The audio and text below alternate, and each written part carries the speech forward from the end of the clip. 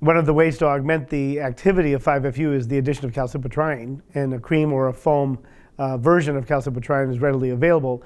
These have been used uh, pretty routinely now in healthcare systems such as Kaiser and HMOs. Uh, and there's basically a four-day scheme looking at you know three months out as far as an assessment. You know we're still looking for larger trials for anything pivotal as well as long-term efficacy and recurrence data. I think it's an easy regimen to apply. There is a lot of irritation when you add the calcipotriene either in ointment or cream foam to the already irritating 5-FU, but in enhancing its efficacy by uh, increasing the activity of TSLP as an antigen, as well as improving the epidermal turnover and changing differentiation are all really important ad, you know, consequences of using the two together.